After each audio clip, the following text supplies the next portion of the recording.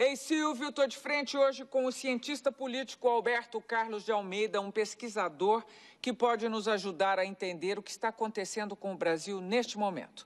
Ninguém sabe onde vai desaguar esse mar de reclamações contra tudo isso que está aí, como se diz hoje, nas esquinas das nossas cidades. Alberto Carlos de Almeida publicou um best-seller com o sugestivo nome de A Cabeça do Brasileiro, onde ele analisa os usos e costumes do nosso povo e das nossas elites. Alberto, estava louca para você vir aqui, porque eu vi todo o movimento dos últimos tempos, todas as manifestações, com imensa alegria, devo confessar, porque uh, veio para não parecer uma brasileira que fala mal de brasileiro, que não é meu caso, mas eu tinha uma visão muito crítica de nós mesmos até poucos dias atrás. Porque eu achava assim que a gente se esforçava demais em, em ser o, o, famoso brasileiro cordial, uh, sem qualquer. Uh, sem qualquer nervo, sem qualquer indignação, e como se fosse assim, vamos aceitar porque é o nosso destino, não é? Como se ser lesado em seus direitos fosse um destino. E de repente os brasileiros falaram: não, não é bem assim. Foi como eu vi. Eu estou certa? Sim, olha, até você falou em destino. No livro tem um capítulo dedicado exclusivamente à mentalidade fatalista. Ah, é? Fatalista é isso, que o mundo eh, Já está você traçado. não controla, né? Você tem um, todo mundo tem um destino. E o inverso é mais uma mentalidade individualista que você controla parte da sua vida, talvez uma grande parte. É, esse movimento, quer dizer, é, foi surpreendente, ninguém previu. É claro que você tem uma cadeia de acontecimentos que serve como fagulha, é, mas existe um, um, contexto mais amplo. Tá? O movimento, a maior parte do movimento das manifestações, é, ela, ela, ela foi liderada, ou as pessoas que foram às ruas, são pessoas ou que atualmente cursam algum grau superior ou que já concluíram. Sim. Tá? Não estou dizendo que isso foi exclusivo, mas a maioria são pessoas com esse perfil. Você está dizendo, então, que foi uma minoria? Porque o brasileiro, no geral, um, dos problemas da população brasileira é a educação. Sim, foi a minoria, mas toda manifestação acaba sendo de é uma minoria, não tem? É né? verdade. Ah, Começa Agora, ali. a maioria apoiou, quer dizer, a maioria apoia. Aqueles que não vão na manifestação, ou nas se sentem representados pelos manifestantes. É, estatisticamente, é, isso as foi pessoas provado. sim, apoiar. há um apoio amplo da opinião pública, tem pesquisa aí mostrando exatamente isso. É, é interessante, eu, eu, existe uma metáfora, tá? Se você é, se você conversar com políticos, tá? Isso é parte da minha atividade profissional, inclusive. É, você tem uma, uma empresa de consultoria? É, com, você, consultoria e pesquisa, Instituto Você trabalha Análise. com políticos? Sim, eu tenho vários tipos de clientes, né? É, todos de um nível bastante elevado, dirigentes de empresas. Qual é o nome da gente, sua empresa? Instituto Análise. Ah. Tá? Então a gente, é, por meio de dados e pesquisa, elabora cenários, né? cenários basicamente na área política e social é, e também eleitoral em, em, em, muitos casos, tá?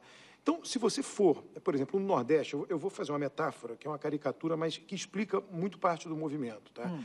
Se você for no Nordeste, um político que vai visitar sua base eleitoral no Nordeste, se esse político chegar de ônibus, hum. o eleitor não vai dar bola para ele, porque ele vai dizer, esse cara não tem poder, ele é igual a mim, ele anda de ônibus. Aí ele tem que chegar ou com uma comitiva, com bastante gente, carros luxuosos, ou de helicóptero, uma coisa desse tipo. Aí o eleitor vai dizer, olha, esse tem poder, vou pedir alguma coisa para ele, porque ele tem os meios, tanto é que olha como é que ele chegou onde eu moro. Se você for para uma área mais desenvolvida do país e o político chegar de helicóptero ou com uma comitiva grande, você vai dizer, eles estão roubando. Você gostaria que ele chegasse de ônibus como você, que ele fosse o igual. Tá? É, então, o, o que, que acontece? O país que foi às ruas é um país que quer que o político chegue de ônibus, ou quer que chegue igual a, a como ele é. Tá? Só que o nosso sistema político funciona com os políticos chegando de helicóptero em grandes comitivas. O político é disfuncional, a mentalidade mudou, uhum. a mentalidade de um segmento grande da população brasileira mudou, uhum. porém o sistema político não acompanhou a mudança de mentalidade. Tá? Nossos políticos, eh, eles moram, nos Estados Unidos, o presidente mora e trabalha num lugar cujo nome é Casa Branca. Uhum. Na Inglaterra, é um endereço, Downing Street 10. É. No Brasil são palácios. Palácio Alvorada, Palácio Planalto, Palácio Bandeirantes, Palácio Laranjeiras, Palácio Guanabara, Palácio Piratini, Palácio das Mangabeiras, Palácio da Liberdade, tudo é palácio. Até a Justiça é, trabalha em Palácio de Justiça. Você acha que é uma herança da Aristocrática, nossa é evidente. colonização? Exato. É isso mesmo? É, aí você tem os protestos. No meio dos protestos, o presidente da Câmara decide colocar familiares e amigos em avião da FAB para assistir a final da Copa das Confederações no Rio de Janeiro. Mas os protestos estavam dizendo exatamente para não fazer isso. E ele vai lá e faz durante. Né? Então, existe uma simbologia. Você acha que faz como desafio ou como inconsciência? É inconsciência, é, é, um padrão. Ele, ele, ele acredita nisso, está, está acostumado a se comportar assim. Não tem nada de desafio nisso. É como ele é. Ele fez o que ele é. Agora, foi um movimento sem líderes, sem alto-falante, sem. Uh, o que, que significa isso? É, foi um movimento. Três coisas se destacam, tá? Sem líder, sem uma demanda específica clara, não é assim, é, direta começou, já. Começou pela passagem de ônibus. Sim, mas a importância dele se deve a não ter uma demanda específica. Tanto é que, que foi desmontado, foi atendido a demanda é. da passagem de ônibus e, no entanto, o movimento continuou. Então, é um movimento é, sem líder, é, cujas demandas são variadas, não tem uma demanda específica e não tem conexão institucional alguma. Quer dizer, se você pegar um, um movimento grande né, que obviamente teve uma mobilização de cima para baixo das diretas já, você teve líderes de oposição, governadores de três estados, três maiores, você teve um objetivo só, aprovar uma emenda que restabelecesse a eleição direta para presidente. Então, é, de fato, isso é inteiramente novo. Tá? E, e eu considero assim, é, é um movimento que reflete uma mudança que está em curso no Brasil. Tá? Essa coisa, assim, como eu tenho que me debruçar sobre dados, o que está acontecendo no Brasil o tempo inteiro, essa mudança está ocorrendo. Qual mudança está ocorrendo? Os políticos estão sendo cada vez mais enquadrados para se comportar de uma maneira diferente. Hum. Por exemplo, não foi por acaso que no primeiro ano do governo Dilma, vários ministros caíram por conta de escândalo de corrupção. Isso, isso aconteceu no passado. Aconteceu e ela, e não e ela teve nada. uma imensa popularidade na Exato. época. A, foi a tal da faxina ética. Sim, mas essa mesma sociedade que foi às ruas pressionou para que isso acontecesse. Isso é. aconteceu. Tá? É, vários, é, um, os políticos hoje são muito mais preocupados com isso do que eram no passado. Então, o que, que eu acho que as manifestações, eh, as manifestações é, é, é, o que você observa acima da superfície, embaixo da superfície, muitas coisas estão ocorrendo. O Ministério Público está muito mais atuante, a quantidade de procuradores per capita no Brasil aumentou, é, tribunais de conta de, de estados é, estão atuantes, isso é importante tá? você olhar as contas públicas, não é só a decisão política que está em jogo hoje em dia. Você está me dizendo que você não se surpreendeu, então, com a não, manifestação? Não, é, é, é, o fenômeno das manifestações é surpre... foi surpreendente ter acontecido o que aconteceu. O, o, o que eu, eu, olha, eu venho chamando a atenção, artigos, eu publiquei um livro é, 2009, 2010, é, sobre impostos, é, baseado numa grande pesquisa é, em várias pesquisas nacionais, o que, que o brasileiro pensa dos impostos. Está na manifestação isso. Os brasileiros gostariam que o dinheiro fosse gasto com maior eficiência, está lá no livro. Os brasileiros gostariam é, que é, eles acreditam que se fosse gasto com maior eficiência, sobraria dinheiro, poderia baixar impostos. Eu fiz um programa aqui sobre isso, para falar disso, porque eu sou uma das inconformadas com. Eu pago os meus impostos e não vejo o retorno de quem é, é, sabe, é, no automático paga as suas contas, paga os seus impostos e nada volta. Eu... É, exato. E, e isso, a sociedade já tem. Esse movimento todo é o quê? São demandas difusas é, de uma sociedade que mudou um pouco a agenda. Quem foi à rua é, é, tem grau superior completo. Antes se demandava redução da inflação, isso foi feito, deixou de ser um problema agudo. Redução do desemprego, isso foi feito, deixou de ser um problema agudo. Agora tem um problema que é mais agudo, que é a qualidade de vida. Transporte, é, é saúde, educação um pouco menos. E que, e, e que, por enquanto, é percebido pela população como um desconforto sem foco, é isso ou não? Não, olha, é um desconforto real. É, né? mas estou dizendo, sem foco. São várias coisas que têm a ver com o uso do dinheiro público. Então, a, a população foi à rua dizendo para os políticos: olha, vocês estão nos explorando. Vocês roubam e não são presos. Vocês cobram muito imposto e a qualidade de vida nossa está piorando por conta de serviços públicos ruins. Ah, de, da porta de casa para dentro, a vida das pessoas melhorou. Eu chamei a atenção disso. As manifestações ocorrem porque a vida melhorou. Então, quando a vida melhora, você começa a perceber mais, com, com mais clareza, coisas que não melhoram.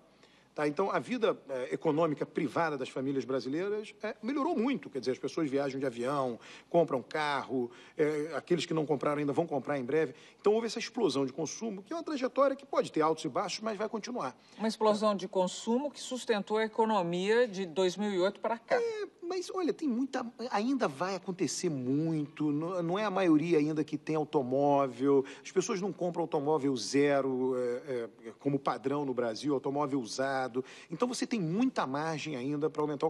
Ah, você tem uma ideia, nos Estados Unidos, 98% da população americana voou já de avião. No Brasil, não. Ainda falta muita gente voar, muita gente. Nós temos um mercado potencial gigante. Isso, isso tem melhorado aos poucos. O que acontece? O sujeito lá que era pobre, né, quando viu que dá para deixar de ser pobre, ele, ele, ele, porque imagina, no passado ele era pobre e dizia, eu serei pobre a vida inteira, vou morrer pobre. E talvez meu filho também. Então ele era conformado com a pobreza. Agora acabou isso. Opa, aliviou a pobreza, deixei de ser pobre. Então eu quero que tudo aconteça de uma vez. Inclusive que melhore a qualidade da minha vida, que tem a ver com serviços públicos.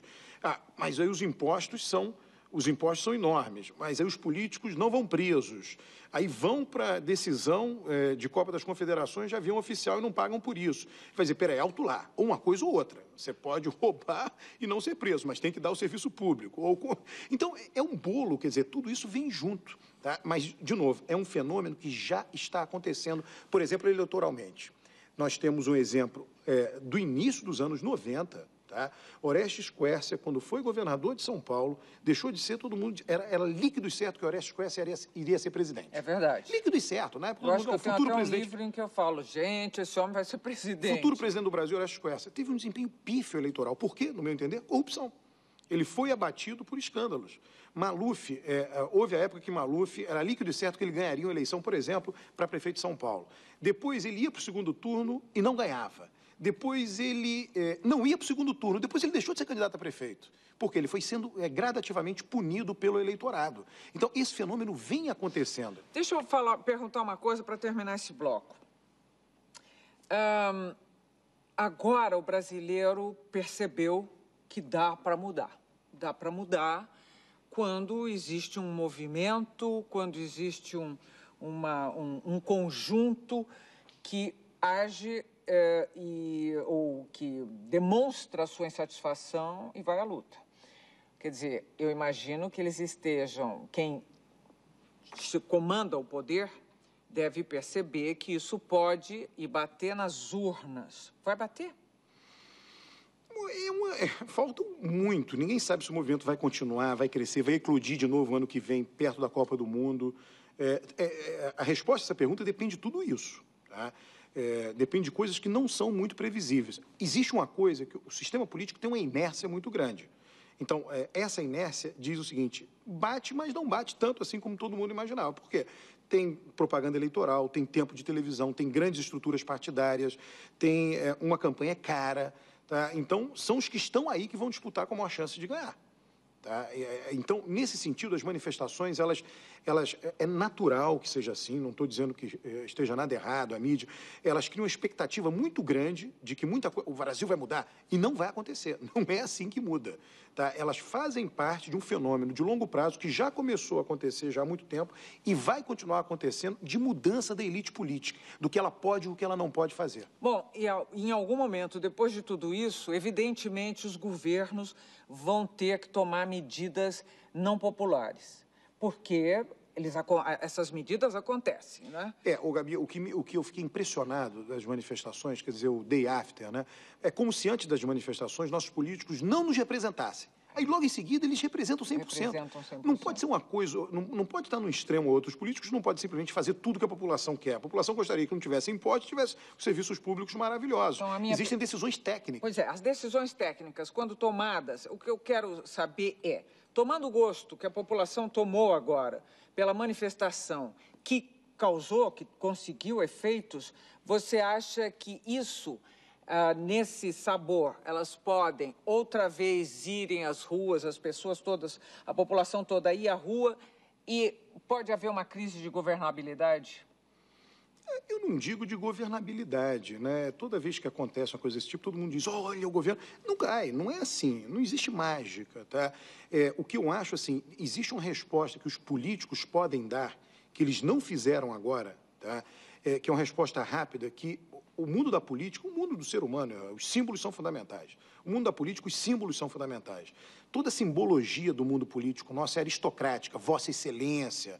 Eles podiam é, trabalhar para acabar com isso, ou mitigar bastante isso. Políticos passam na rua com batedores, a população se indigna com isso. Por que, que passam com batedores e têm que fechar a rua para passar? Por que, que moram em palácios? Por que, que quando viajam para o exterior tem que ficar no melhor hotel? Sei lá, escolhe ali os 10 melhores, o 15 melhor, são bons hotéis. É a delegação de um país importante, oitava economia do mundo, não pode ficar num hotel qualquer. Tudo bem, concordo. Mas precisa ser o melhor Tá? Por que, que os políticos têm que ir em avião da FAB ver decisão de Copa das Confederações? Por que, que eles não compram seus bilhetes aéreos e vão? Então, toda essa simbologia associada ao poder, se houvesse uma mudança rápida disso, a população vai dizer, não, mas não basta isso, é necessário. Sim, não basta, mas isso agrada, isso é importante. A gente não pode perder de vista que o Lula foi presidente por oito anos e a população olhava e dizia, esse cara é um igual.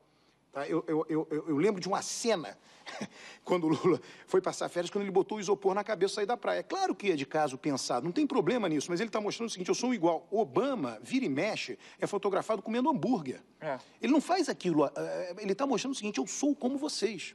Os filmes norte-americanos, tem mil filmes aí, um dia depois, de, sei lá, tem vários filmes de catástrofe. O presidente tem um papel coadjuvante. Quem é o astro do filme? É o piloto da Força Aérea que vai impedir é, a invasão extraterrestre. Quando teve a operação é, é, de pegar o Bin Laden, lá a sala é, é, na Casa Branca, o Obama não ficou na cabeceira. Ficou lá o chefe da CIA, enfim, aqueles que estavam conduzindo a operação. Aquela foto é uma foto real. O Obama ficou de lado, a Hillary Clinton ficou de lado. Os políticos brasileiros, eles, eles não aceitam ser coadjuvante em nada. Eu, eu escrevi recentemente um artigo acabou de acontecer na Copa das Confederações, né? É, onde é a premiação é, de, de, um vencedor de Copa do Mundo? No gramado ou na tribuna de honra? Em países, quando, quando, os Estados Unidos foi, foi o primeiro país que em 94 botou a premiação bem próxima do gramado. Não foi na tribuna de honra, mas também não foi no gramado. A Alemanha, um país de classe média, na Copa recentemente ocorrida lá, foi no gramado. Tá? No Japão foi no gramado, é a maior sociedade de classe média do mundo. A África do Sul foi na tribuna de honra. Ora, o atleta joga uma competição inteira, ele é estrela, ainda tem que prestar reverência ao, a, a, a, uma autoridade que está ali por um protocolo para receber a premiação de uma autoridade. No Brasil foi na tribuna de honra, acabou de acontecer. Olha aqui, deixa eu fazer um intervalo aqui, vou fazer muitas perguntas que você já respondeu aqui na cabeça do brasileiro que eu gostaria que você contasse para a gente aqui. Pode ser? Nós estamos terminando o primeiro bloco de frente com o cientista político Alberto Carlos Almeida. Voltamos em seguida. Estamos de volta com o cientista político Alberto Carlos Almeida, autor de A Cabeça do Brasileiro, um best-seller absolutamente recomendado. Antes de partir para essa cabeça especificamente, mas ainda já falando, ainda falando de cabeça de manifestante, onde é que entram os vândalos na, na história dessa manifestação, Alberto? Eles são oportunistas, eles são infiltrados com ideologia própria ou eles são simplesmente bandidos? Olha, eu sei lá, eu não, exatamente quem foi, né? No Rio se disse que foram traficantes, você via as imagens, são, sei lá, é, pequenas gangues de classe média, é, é, enfim, de regiões não, não pobres até do Rio de Janeiro. É, eu, eu, acho assim, é, é, sem defender o vandalismo, né, eu acho que existe uma parte do que aconteceu que o vandalismo foi importante para a resposta dos políticos, em particular do episódio que aconteceu em Brasília tá? que os manifestantes emparedaram ali a entrada da Câmara dos Deputados, do Senado, e aí a polícia agiu, eles foram direcionados para o Itamaraty. É claro que os políticos ficaram com medo daquilo.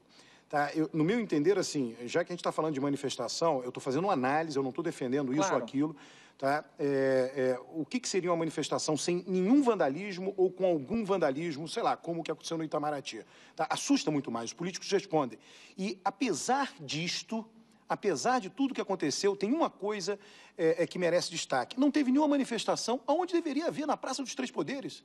A Praça dos Três Poderes ficou maravilhosamente blindada. É uma praça que deveria ter o povo, e quando o povo se manifestou, o povo não pôde entrar nela. Porque ela está ali entre o Palácio Planalto, o Supremo Tribunal Federal e o Poder Legislativo.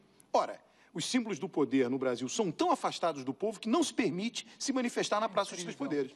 Aliás, você acredita mesmo, não acredita mesmo, você acredita que o fato de termos Brasília, naquele centro tão isolado, vamos dizer, da vida socioeconômica do país, era quando foi é, criada, é. quando foi fundada lá, tem a ver com essa, essa ideia palaciana, isolamento é, sem de dúvida, poder? Sem dúvida, uma, uma cidade construída especialmente para isso, quer dizer, é, decisores iluminados, legisladores, arquitetos que tinham lá, um projeto de uma cidade é, é, isolada do resto do país, tudo bem, com um objetivo até apreciável, do tipo levar o desenvolvimento para onde não havia, ou ocupar uma parte do país que não tinha população, mas não tem a menor, não tem a menor dúvida disso. Tá? Quando Tony Blair foi eleito a primeira vez ministro, é, primeiro-ministro da Inglaterra, ele tinha filhos pequenos, é, três, a casa teve que ser adaptada, porque há muito tempo não morava alguém que tinha filho pequeno ou criança. Tá? Porque é uma casa normal, é. Não é, ele não mora num palácio está cheio de serviçais. O primeiro-ministro é, sueco mora num apartamento de 300 metros quadrados. Tá? É, a, a, população está dizendo o seguinte: eu quero que o dinheiro seja utilizado com eficiência. Vocês estão ali para governar, são nossos empregados. Igor é isso. É, Os polícias isso. são nossos empregados. Então, como nossos empregados, vocês não têm que ter nada suntuoso. Vocês têm que ser algo de acordo com o cargo, porém não precisa ser suntuoso. Então, toda essa simbologia é algo que poderia ter uma resposta rápida e iria agradar em muito a população. A população dizer, não, mas não, não importa só a simbologia, tem que ter outras coisas. Tem que ter outras coisas medidas efetivas de melhor uso do recurso público. Aliás, rápidas, se eles quiserem, eu espero, os resultados nas urnas. Claro, agora, o Gabi, tem uma coisa que é importante. A gente sempre compara o serviço público no Brasil com o serviço público na Suécia. Não dá para comparar. Por que, que não dá? Porque serviço público não é só um problema de oferta, é um problema de demanda. Tá? É, quem é que demanda o serviço público na Suécia? Uma população que tem uma escolaridade altíssima. Tá? Quem é que demanda o serviço público no Brasil? Uma população muito pobre que tem uma escolaridade muito baixa. Por quê? Por quê? O brasileiro nunca teve como prioridade a educação. Estou dizendo dos governos. Não, mas eu acho que isso é cultural, isso não tem conspiração é, de, de político. Não, vem, da, vem, vem da nossa matriz católica. Tá? onde os países católicos, quanto mais forte o catolicismo, é, as tradições católica e protestante são opostas com relação a isso. Tá? Hum. O catolicismo decidiu educar a elite não é por acaso que tem universidades e colégios jesuítas. Tá? Quando veio a reforma protestante, é, na Alemanha, na Prússia, sei lá, quando veio a reforma protestante foi a seguinte decisão que eles tomaram: vamos educar o povo. Quando começou a reforma, 90% da população, 99% era, era analfabeta. Só era alfabetizada a coroa, os nobres e o clero. O resto todo mundo era. Eles disseram: sabe uma coisa, vamos alfabetizar todo mundo, porque todo mundo tem que ler a Bíblia. Então, o sistema escolar massificado alemão foi criado numa, numa composição entre a Igreja Luterana e, e, e, a coroa local, que se converteu ao luteranismo, aí briga de poder. E aí a Igreja Católica começou a fazer vários experimentos para deter o protestantismo. Um deles foi a Companhia de Jesus, que funcionou maravilhosamente bem. Ela disse para os nobres o seguinte: olha, eu dou os professores, você me dá a estrutura, e a gente educa a tua elite. Aí a, a, a conversão aconteceu o inverso, eles conseguiram deter o avanço do protestantismo. Mas aí eh, foram criadas duas tradições educacionais, uma para educar a população como um todo e outra para educar a elite. Então, nós, nós somos vinculados a essa tradição. Portugal tem uma das piores escolaridades da Europa, porque é extremamente católico o país. Tá? Isso não é uma conspiração das elites. É, simplesmente, é, o político que investir demais em educação não recebe em troca o voto porque o eleitor também não apoia isso. Ele prefere que invista em consumo, em saúde. Tem várias razões para isso, mas eu estou dizendo, um, a, a, educação não é um valor em si próprio para nós, como é num país protestante. A, a educação para nós é um, é um valor como meio para atingir alguma coisa. Então você vende educação no Brasil dizendo, olha, mais educado você vai ter mais renda, mas não é que seja um valor em si. Tá? Isso é algo que tem a ver com a nossa... Isso é cultural. É isso. Mas nem com aquela, com a tropa que se manifestou agora. Sim, aí rua? o que, que acontece? De novo. Aliás, é, é, nós estamos aqui encaixa, temos que encaixar em tudo isso a tecnologia, porque não foi, é, foram as redes sociais que fizeram essas manifestações. Sim, mas a gente também não precisa ter um fetiche da tecnologia, né? Quer dizer, você é, aconteceram revoluções no mundo que são manifestações até é, numa dimensão maior.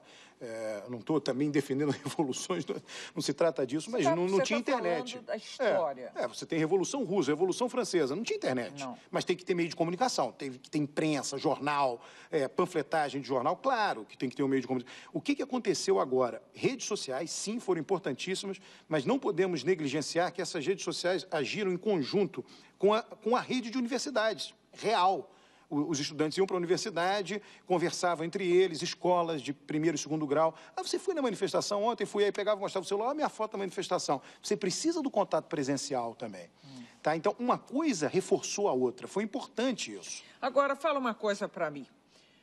Alberto, sempre ouvi falar que no Brasil as grandes mudanças foram pacíficas, que nunca houve revoluções nem guerra civil, por exemplo, na independência ou na proclamação da República. E, e me lembro de um amigo meu eh, dizendo uma coisa muitos anos atrás que eu nunca mais esqueci. Somos o único país na América Latina que não fala sangre, fala sangue, que fica uma é, coisa meio suave. Suave. É, isso tem algum significado? Eu acho que tem um, a gente tem um traço cultural importante que nós não gostamos do conflito, é um fato. Tá? O brasileiro, o brasileiro médio, todos nós, a gente rejeita o conflito. O conflito é mal visto. É, o americano, que é o, o, extremo oposto, ele é extremamente conflitivo. Né? O vizinho entra em conflito com o vizinho. Né? No, nós não somos assim. Tá? Então, isso daí, é, a gente isso tem não tem mudado? Nós não estamos pelo menos já, já sendo reconhecidos como um povo bastante violento ou não? Não, é, conflito, é, é tá, estou pensando assim como... Conflito está falando meio discussão. Pra, meio para mudar, conflito político, né? enfim. A violência é uma outra coisa, tá? É. A violência é enorme no Brasil. A América Latina, excetuando Chile e Argentina, é uma das regiões mais violentas do mundo. Tá? E eu acho assim, existe, existem uh, violências e violências. Existe uma violência marginal, que você consegue é, é, conter, disciplinar, reduzir é, por meio da repressão. Existe uma violência mais generalizada, né, e aí, no nosso caso, é, vai até além disso, é, é burlar a lei, burlar a regra. Pequenos roubos, crime como, contra o patrimônio, isso é muito grande no Brasil, é, que tem a ver com a estrutura social. A gente não pode esquecer que nós somos uma sociedade que veio da escravidão, de um, é, com todos, e, e, talvez isso seja o grande mal do Brasil também, que você não controla, tá? É, a nossa herança escravista, quanto tempo você vai levar para para conseguir anulá-la. Tá Quanto aí. tempo? Ah, muito tempo. Quer dizer, a maneira mais rápida, sempre, e a gente sabe disso por experiências internacionais, é você pegar e fazer um investimento, ou, ou, ou, ou ter um investimento muito grande em educação e, e dar a melhor educação possível para a maior fatia possível da população. Porque senão. Mas a população não vota em políticos que vão. É, é, é, é, a educação não é um valor em si próprio, então ela não remunera. O que é, remunerar? Né? É dizer, olha, você investiu em educação, então eu quero que você fique no poder. A população não faz isso. Então você tem, agora, com o passar do tempo, pessoas mais educadas formalmente passam a valorizar mais a educação. O que, o que isso revela sobre o nosso país é que a tendência de aumento da nossa educação não é uma tendência coreana. A Coreia do Sul foi uma decisão da elite e ela foi lá e fez. É uma tendência mais incremental, como tem sido. Né? Essa população que foi à rua, eh, parte dela, importante, tem o dobro de anos de estudo de seus pais. Então, já houve uma mudança relevante. Nós somos um povo preconceituoso? Sim, eu, no meu livro tem dois, três capítulos aí dedicados a preconceito de cor, não é de raça. No Brasil, o importante é a cor. É, é, um, é um, preconceito diferente, tá? De novo, não é um preconceito é, é, é conflitivo, ele é mais sutil, mas ele existe. É, nós, nós demos fotos de pessoas de cores diferentes, tá? Dentro da classificação do IBGE, é bom que seja dito, preto, pardo e branco, e pedimos para que as pessoas dissessem com aquelas fotos. Só variava variava a pessoa, a vestimenta era igual, o fundo da foto igual. É, é, demos vários atributos, qual desses parece ser o mais inteligente, criminoso, etc. É, é, os pardos ficavam numa situação muito ruim. É, a visão que a sociedade tem quando. É, e, e, basicamente, o que, que a gente fez? Uma metodologia que, que pergunta para você: você é racista? Só que sem perguntar assim, de uma maneira muito indireta, as pessoas disseram só. As pessoas disseram que são. E existe o preconceito social, quer dizer, evidente que vai vai cair, vai incidir no, nos negros, porque eles ainda são... Existem os dois, tá? É, tem os dois. o de cor e tem o social também. Então, pois é, é mas vai... Mais do que o social, quer dizer, nós valorizamos a origem social das pessoas. Quando você conhece alguém novo, você procura saber de onde a pessoa veio. Da, de, de, sei lá, a história de vida da pessoa. Não é só isso que eu estou perguntando. Estou perguntando se existe mesmo, para os que têm uma situação mais privilegiada, uma, um preconceito e, e quase uma, é uma, uma perversidade na tentativa de manutenção da aqueles menos privilegiados que continuem naquela situação. Você pode admitir isso? Sim, eu Suas pesquisas tô... deram isso ou não? Não, a gente não fez perguntas nessa direção, mas olha, todo mundo que tem alguma coisa procura manter, né? Mesmo eu vou dar um exemplo horroroso, vou, mas vou dar. É, eu tenho uma querida funcionária há muitos anos na minha casa, analfabeta. E eu fiz questão que ela fosse para fazer a alfabetização de adultos. E eu fiquei tão contente quando ela entrou e ela estava se eh, desenvolvendo tal, e eu escrevi, na época eu tinha um artigo num jornal semanal, e eu escrevi sobre isso, dizendo a minha alegria. Eu recebi telefonemas de amigas minhas dizendo assim: ai, que horror! Você vai deixar essa mulher aprender, você vai perder a empregada. É nesse sentido que eu estou é, dizendo. É, olha, você tem um grupo hoje, a gente sabe que em países que a classe média é, é predominante, a classe média no sentido né, de, de, classe de consumo realmente, tá? É, vários privilégios que nós temos não se aplicam, né? Você não tem empregada doméstica na Europa. Não como nós temos aqui. Você tem a, a, cleaner, né? Ela vai uma, duas vezes por semana, no máximo três, arrumar a casa e ponto final. Mas você não tem alguém que fica lá ah, sei lá, o dia inteiro cozinhando, ah, cuidando das crianças. E isso daí está começando a acabar no Brasil. Tem países da Europa que, sei lá, não se come carne todo dia. Né? É, não que isso vai acontecer no Brasil por conta da nossa, sei lá, matriz de produção é, é, de carne, mas, mas algumas coisas que não a carne, mas outras, a, a classe média vai acabar tendo que renunciar. Tá? Essa coisa de é, você vai em lojas que você compra móveis, isso vai continuar no Brasil, mas provavelmente vai diminuir. Aí você tem dois preços: o preço para o móvel desmontado, que você próprio monta, e o preço para o móvel que vai alguém para montar, que tem a ver com essa coisa escravista. Tá? É, é, nos Estados Unidos não existe isso. Vai alguém para montar o seu móvel, se vira, aprende, vai lá e monta. O que eu estou, no final, querendo concluir é: nós temos muito mais em nós ainda daquela monarquia que andou Mas por é claro. aqui do que nós podemos é, imaginar. E quanto mais presente é alguma coisa, menos você nota a presença dela. Ah, é isso. Termina aqui mais um bloco de frente com o cientista político Alberto Carlos Almeida. Já, já, já. De volta para mais um bloco de frente com Alberto Carlos Almeida, autor de A Cabeça do Brasileiro e do Instituto Análise. Análise. Alberto, você já falou sobre isso lá para trás. Eu perguntei, você respondeu que sim, que eventualmente você dá consultoria para políticos. Exato. Você já deu consultoria eleitoral em campanhas políticas. Exatamente. Qual é o seu recado para os políticos do Brasil?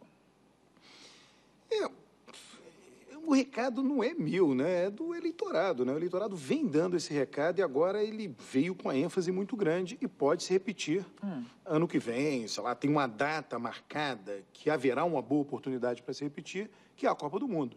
A gente não pode esquecer que foram inaugurados até agora seis estádios, ainda faltam seis. Então, é, todo o discurso em torno das despesas com relação aos estádios, ele, ele será é, é, devidamente. Porque ele, ele vai ter lenha para essa fogueira. Tá? É, então, o, o, o, o que, que aconteceu? Aprendeu-se um caminho, né? Os manifestantes aprenderam um caminho e a gente sabe agora, aqui e acolá, onde é que estão as fagulhas que poderão, se, ou não, poderão, mas poderão se encontrar mais na frente. Então, não seria um recado meu, mas é, é, um, é um, próprio, é um recado do próprio eleitorado, né? exigindo que os políticos sejam mais austeros, sejam mais eficientes. Que deem o é, exemplo que, que deem o exemplo de austeridade, frugalidade, tá? que deem esse exemplo para nós. É a vida que nós levamos. Né? Nós queremos, a gente sabe que eles têm é, é, sei lá, o ofício da representação, nós sabemos que isso exige um determinado protocolo, mas tem limite, né? tudo tem limite. Nós não vivemos mais é, na época aristocrática, né? o nosso mundo e o Brasil se tornou um país, sei lá, é, muito democrático, né? no sentido de, de relações mais igualitárias. O jeitinho brasileiro já não está colando ou o brasileiro ainda é o cara que acha que no final dá-se um jeitinho? É, o, o, o Gabi, é, sempre tem duas respostas a uma coisa dessa. Quer dizer, comparando o nosso país com outros países, nós sempre teremos mais jeitinho, são diferenças culturais. Que pode ser, em algum momento, uma qualidade? Sim, é sempre, vai ser sempre ambíguo ele. Ele, ele terá o lado bom, requer uma certa flexibilidade. Executivos brasileiros são muito demandados para grandes empresas porque eles são flexíveis e que tem a ver com o jeito. Você compra o pacote completo. Né? tanto da flexibilidade com consequências positivas, quanto da flexibilidade que diz respeito a quebrar uma regra. Tá? É uma regra informal que é o lado do jeitinho, depende do lado do balcão que você tiver. Se essa regra for quebrada ao seu favor, você vai achar ótimo. Se for contra você, você vai achar horrível. Né? Então, ele, ele, ele é uma zona cinzenta. Tá? Essa zona cinzenta tem consequências positivas e negativas. O pacote está lá. Você, vai, você não vai trazer o bom e deixar de fora o ruim.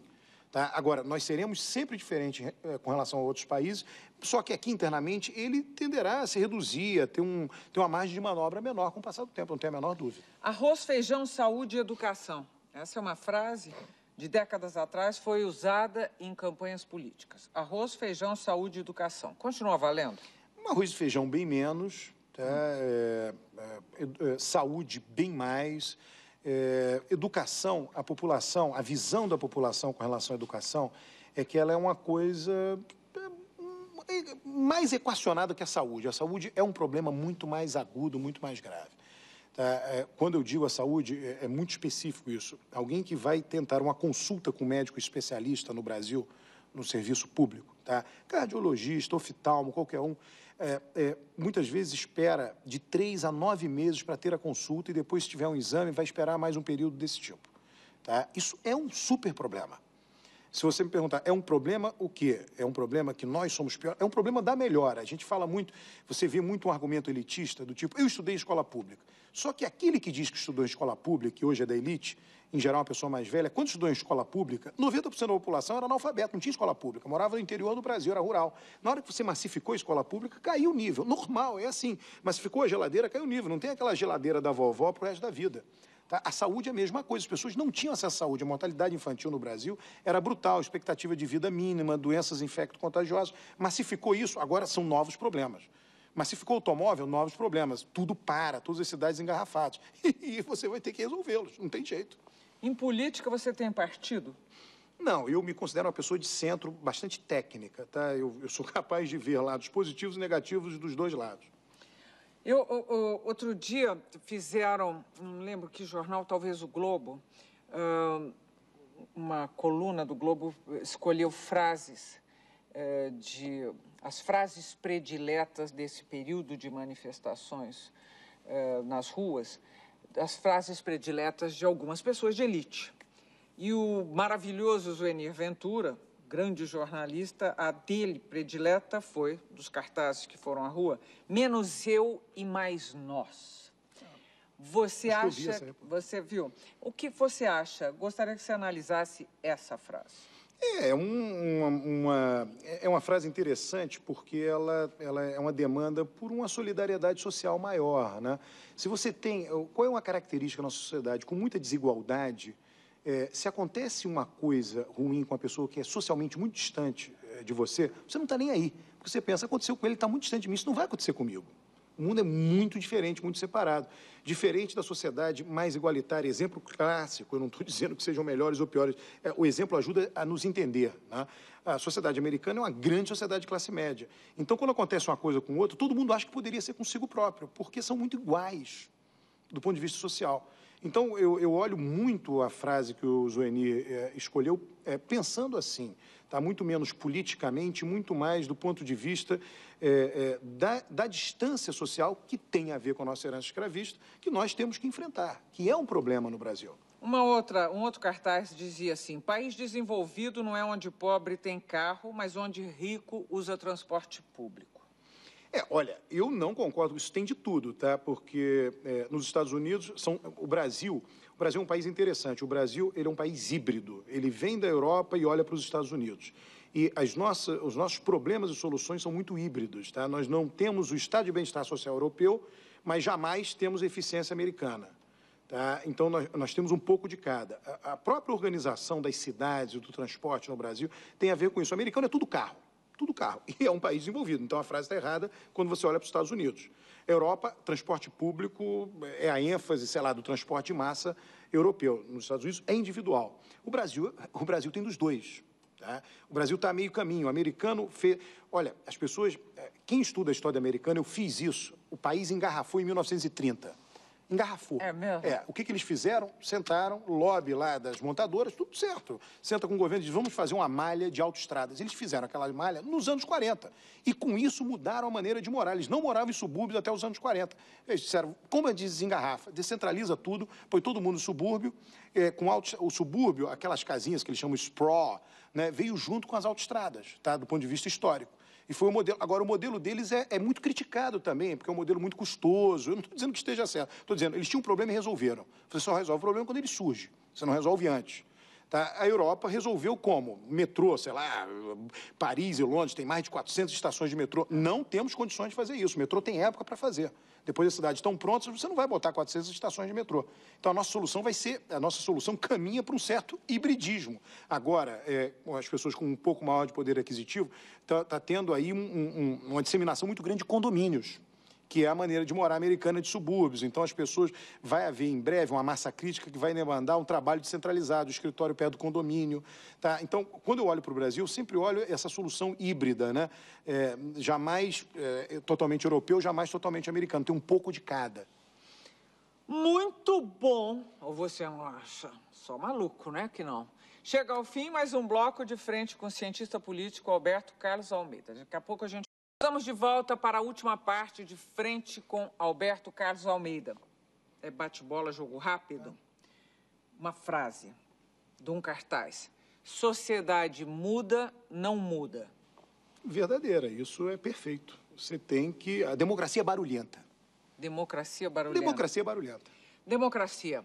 É barulhenta. Não, não tem democracia se não tiver barulho. Tem tanta coisa errada que não cabe num cartaz. É comodismo?